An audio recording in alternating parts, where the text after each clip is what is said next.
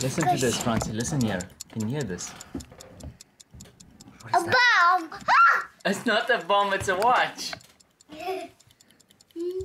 Listen. Do you know, do you know what that is, Franz? It's a oh, time. It's time. Don't drop it. tick tock, tick tock. Hmm, it go in the dark. It's a stopwatch, Franz. He's counting the seconds.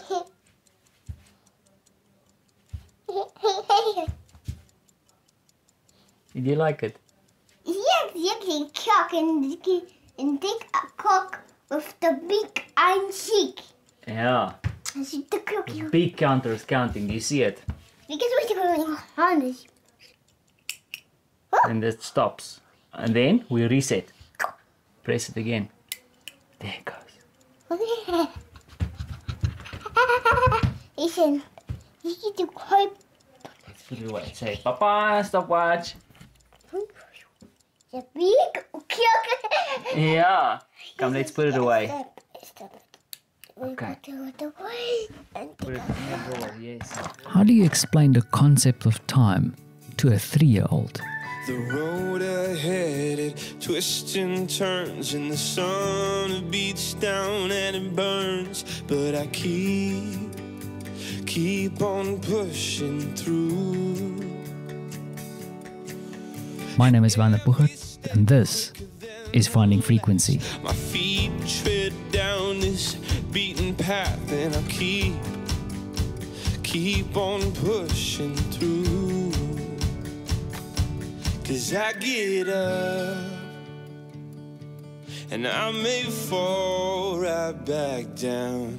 Quick update from Poland. So today is the 16th of April, and we are mandated by the Polish government to wear masks when we go out in public. Strange, I would never have thought that day would come. And here we are. And for me, for the first time in a very long time, I ventured outdoors. I was a bit like a vampire, scared of the sun, and I went to McDonald's. Yes, I visited this hallowed American institution to grab myself a nice, and it was delicious, flat white. I could not wait any longer for a coffee made by someone else. Jokes aside, it was strange going out because for many, life continues. For many, public transport is still the only means to travel around, and seeing people scattered in strange queues with masks on, waiting for the bus, seeing old ladies walking with face masks on. I would never in my life have thought that this would be the reality for Poland.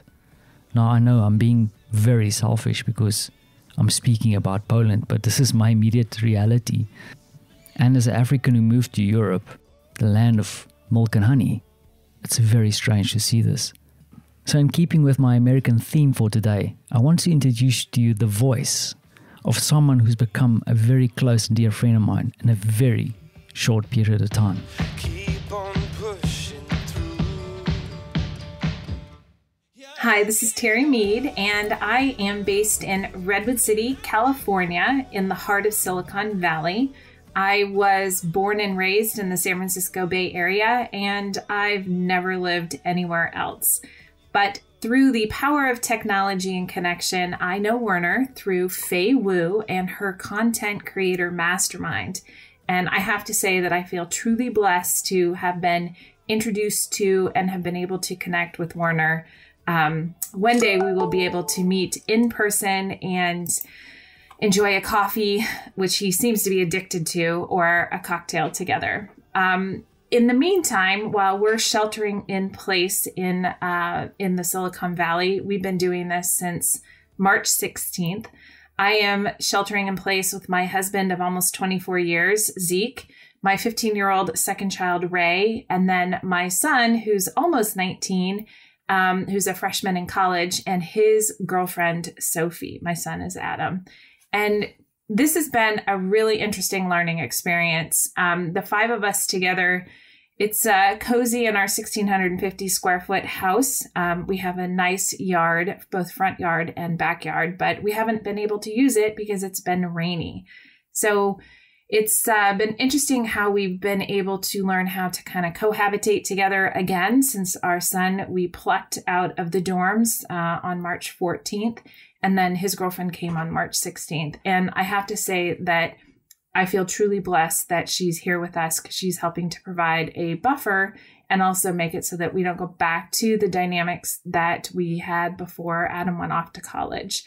And it allows them to have some independence and also to, um, you know, be treated more as adults. They're trying to do the distance learning thing. So, in terms of I hit the wall about a week and a half ago because up until then I was like, I'm just going to work. I'm just going to keep going. I'm a consultant. I'm an expert witness. I do, uh, I have a YouTube channel, a podcast. Um, I'm a startup advisor and an angel investor. I do a lot of different things. And I thought if I just keep doing all that I'm doing. Oh, I'm an author of the book Piloting Your Life, and I'm working on noodling over ideas for my next book. And I thought if I just keep going, going, going, and working 24 7, that everything will be just okay. And I realized a week and a half ago that that was delusional. And so I've been spending my time trying to prioritize and focus on those things that are most important. I'm also I've also decided that working 7 days a week is not healthy even in normal times. I'm carrying the majority of, I want to say, the emotional load here in my house, trying to make sure that everybody is staying sane, um, emotionally healthy. Um, I recently celebrated my 50th birthday, so making sure that that was, you know, there was some fun stuff around that. My son's 19th is coming up. We have Easter and you know just making sure that we're planning meals and time together and that our house is happy and you know um, just thinking through all the logistics around that. So in addition to you know working and doing all the stuff i'm carrying that emotional load and then feeling the weight of what's happening in the world and understanding what the ripple effects are and the repercussions of what we're going through and just kind of seeing how that's all going to potentially play out it's it's heavy and so I'm trying to cut my day off at about five o'clock. I start it, you know, I get on the computer somewhere between 6:30 and 7:30. And I'm trying to make sure that by five I'm done. And um, I'm not working all hours of the night. I will check my email, but for the most part, I'm not checking everything. So I'm also learning to make sure to keep my anchors in place um, to keep me stable. And that's daily meditation, some yoga, trying to get on the treadmill a couple days a week. Um, I do morning pages, I, you know, I journal for a couple of pages.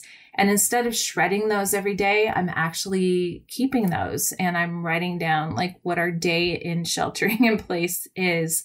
Um, cause this is a historic time and that's another thing is for, for me to make sure that I'm sharing that message and planting seeds of optimism out there with my um, with my viewers, uh, my reader of my newsletter, um, and all of that is the importance of not only allowing yourself to feel whatever it is you're feel feeling, but also putting out there that there's an opportunity for change and goodness and creating a new normal. Um, and that's one of the things that I've really learned is that that is one of the one of the gifts that I can put out into the world right now. I'm not a healthcare worker. I do work in life sciences, but I'm not a healthcare worker. I'm not leaving the house because my son's working in a grocery store. His girlfriend is babysitting for a family. Um, so in terms of risk balancing, I'm not going outside. I'm not cooking for other people. Um, we are trying to support a local economy as much as we can.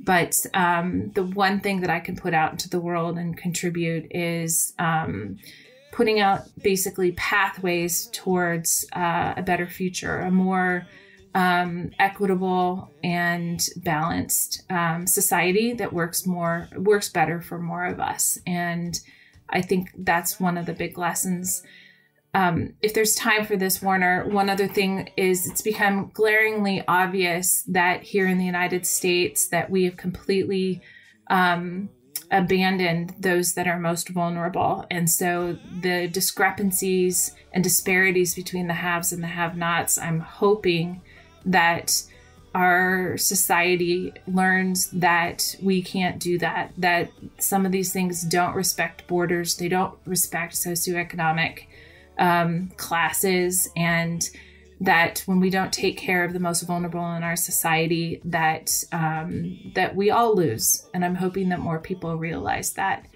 The other thing that I'm seeing um, is that those people with kids are really struggling right now. And this may be a throwaway year for some of the students, uh, whether they're in second grade or they're juniors in high school. Um, or if they're in college, there there are definitely going to be some long standing effects as a result of what we're seeing in the world. And I'm seeing a lot of people who don't have kids who are not seeing that there's a, a huge burden on um, the the families, the, the the working parents who do have kids. It's um, it's some of these things have become I've learned have become glaringly obvious as a result of this entire experience. But I'm I still remain hopeful and optimistic that with this big reset, with this slowing down, that um, that some of these disparities that are being highlighted, that somehow we can start taking steps towards um, making a more equitable and just um, and fair society uh, across the board, and that somehow we can um, break down the centralization of power and money, at least here in the United States, um, to create something and create paths towards, you know, a happier, healthier society. So, Werner, thanks for doing this uh, project. Um, I absolutely adore you, as you know, and I look forward to continuing to listening to Finding Frequency and hearing what um, your friends from around the world have to say about what's going on. So, thanks for doing this. Thanks for sharing, Terri, and especially that last part. I saw a quote today, and it goes something like this Maybe we shouldn't try to go back to normal, because normal was part of the problem. I'm sure you too have many things that you miss and can't wait to get back to. But there are definitely a whole bunch of stuff that we can do without. And perhaps now is the time to try and fix it. Maybe I'm being overly optimistic.